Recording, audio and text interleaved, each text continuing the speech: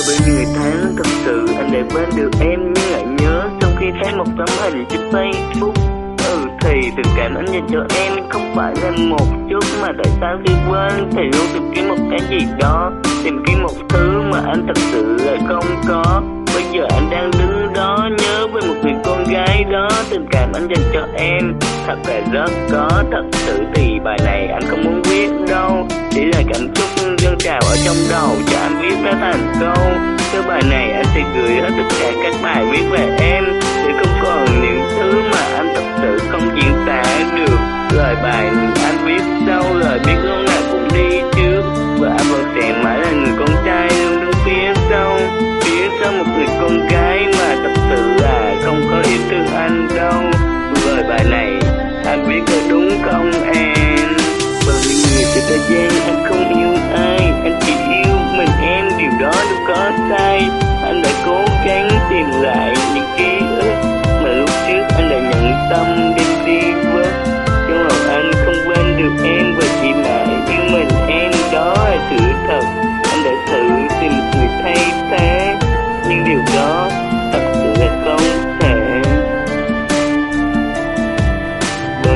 trên thế gian anh không yêu ai Anh chỉ yêu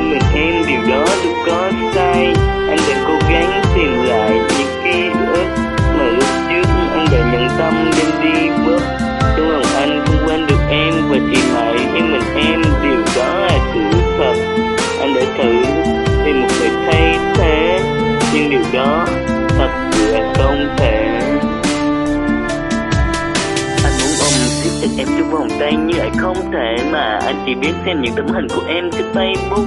Một tấm hình mà một ngày không biết anh xem bao nhiêu lần.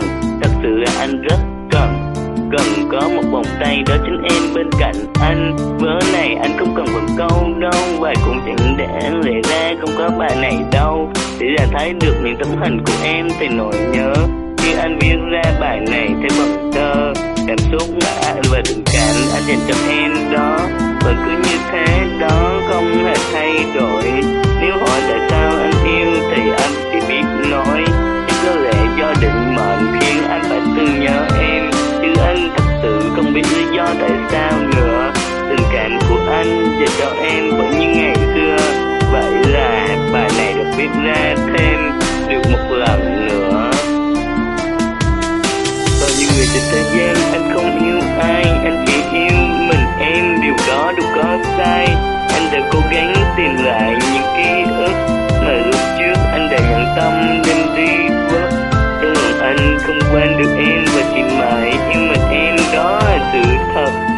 Thử tìm một người thay thế Nhưng điều đó thật sự không thể. Bao nhiêu người trên thế gian, anh không yêu ai, Anh chỉ yêu mình em, điều đó lúc có sai. Anh đã cố gắng tìm